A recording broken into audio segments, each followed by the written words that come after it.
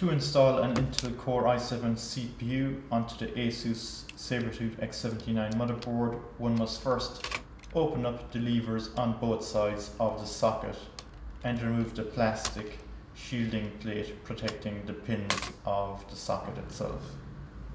With that out of the way, we can just open up the socket and fit the CPU into place. To do this, it is necessary to ensure that the CPU is properly lined up with the socket. You can see that the CPU has a small little triangular, gold triangular tag and that should just line up with the gold triangular tag on the socket itself. The CPU just slips into place and then it's simply a matter of just pushing down on the levers good and tight, locking the CPU into place.